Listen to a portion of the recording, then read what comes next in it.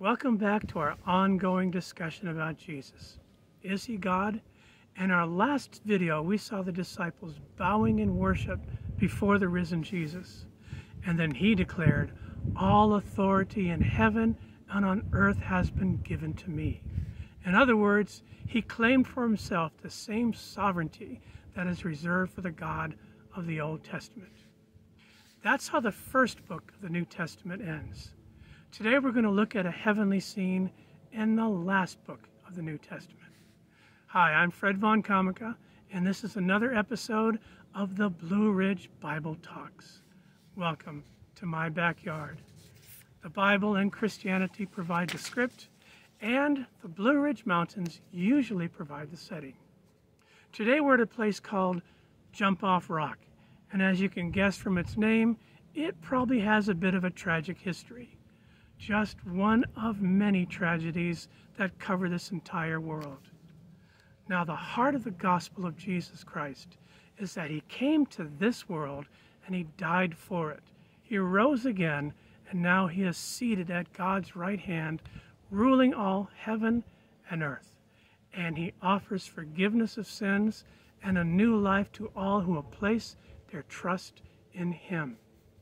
Now, this is why Jesus is worthy of worship. Now, the scene in Matthew 28 included some doubters, but the years of the events that immediately followed removed all doubts from them. We see it in the writings of the New Testament. They claim with one voice that Jesus is exalted, worthy of the same honor due to his Father. Today we're going to look at the book of Revelation. In chapters 4 and 5, we see a vision of the heavenly throne room.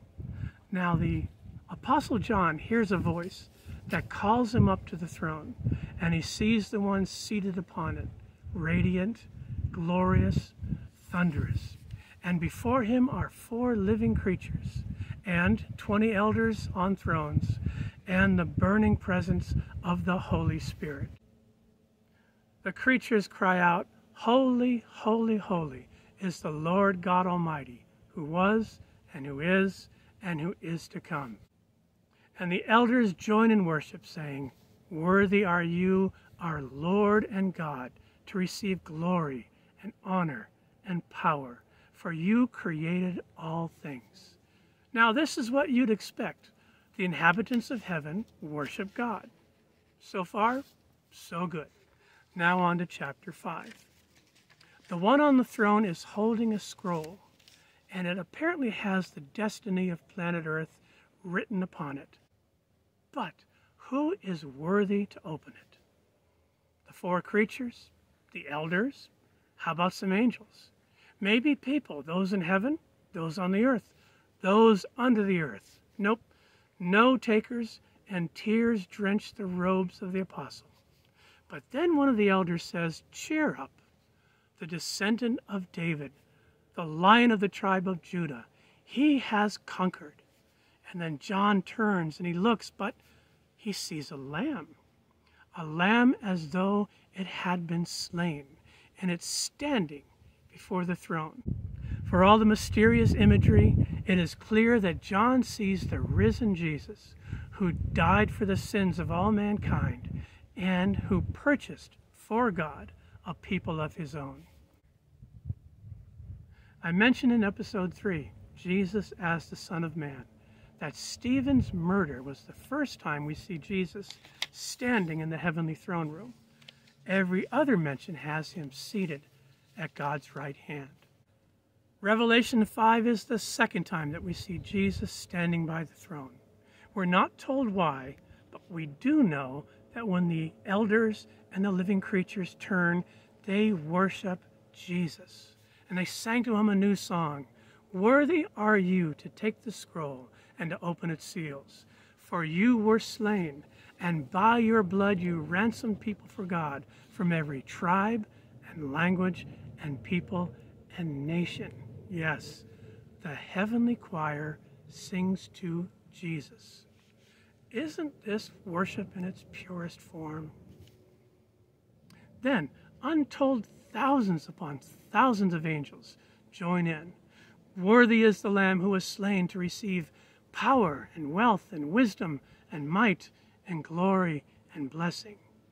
Did you notice the smooth transition from the worship of the one on the throne, that would be the Father, to the Lamb standing before it, that would be the Son, using many of the same terms.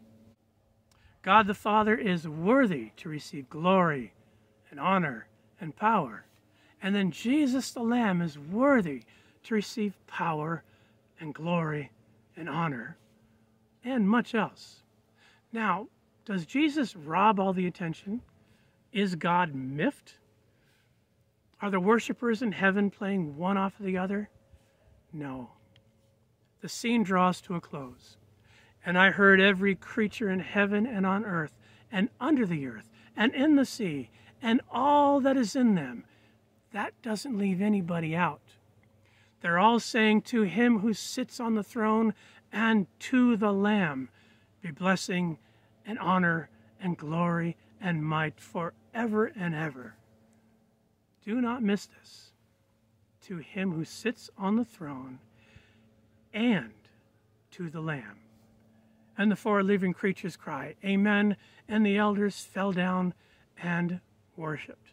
Now, in case you missed it, we see the inhabitants of heaven take the same posture and say the same things to God our Father and to Jesus, his Son. And John calls it worship. Does any of this matter? If the Jesus you believe in isn't worthy of the same glory and honor and worship and praise due to the Father, then you've gotten a hold of a different Jesus, not the one in the Bible. Not only does Jesus share in God's glory, but we're going to see he also shares his own personal name, the one we find in the Old Testament, Yahweh. We'll deal with this in an upcoming video. Stand by for a ride.